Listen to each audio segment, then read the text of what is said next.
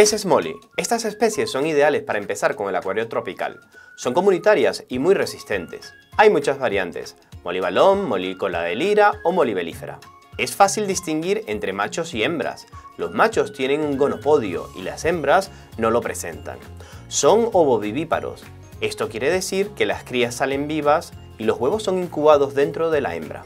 Reproducen con mucha facilidad en el acuario. Por eso, debes de tener un biotopo con plantas, raíces y lugares donde puedan esconderse los pequeños alevines. Pueden entrar en el biotopo a partir de la primera semana, ya que son resistentes a los cambios bruscos que sufre el biotopo en su ciclado. Ayudan a controlar algunos tipos de algas como las filamentosas, porque las encuentran ricas en su dieta.